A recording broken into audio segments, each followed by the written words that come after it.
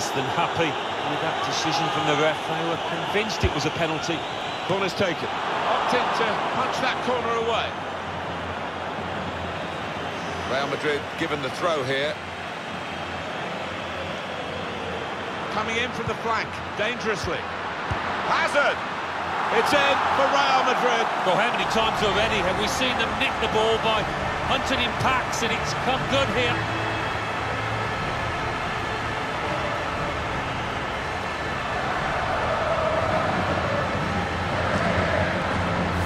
Well, he's not going to miss from there. He was concentrated, had his head down, good connection. Different angle on it here.